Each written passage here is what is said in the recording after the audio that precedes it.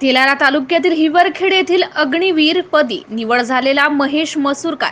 यास ग्रामस्थांच्या वतीने ढोल ताशाच्या जल्लोषात देशसेवेसाठी पाठवण्यात आले आहे. हिवरखेड येथील वार्ड क्रमांक तीन मधील कोरोना काळात हार्ट अटॅकने निधन झालेले स्वर्गीय विजय मसूरकार यांचा कौलारू घरात वास्तव्यास असलेला व परिस्थितीशी झुंज देत असलेला शिक्षणासोबतच देशसेवेसाठी सीमेवर जाण्याचा निश्चय केलेल्या महेश याने अखेर आपले स्वप्न साकार केले. पंचवीस ऑक्टोबर रोजी त्याला देशसेवेच्या रक्षणासाठी देण्यात येणाऱ्या प्रशिक्षणासाठी नाशिक येथे पाठवण्यात आले आहे.